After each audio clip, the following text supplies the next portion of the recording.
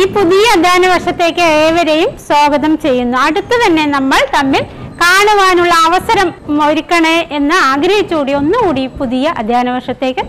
സ്വാഗതം ചെയ്യുന്നു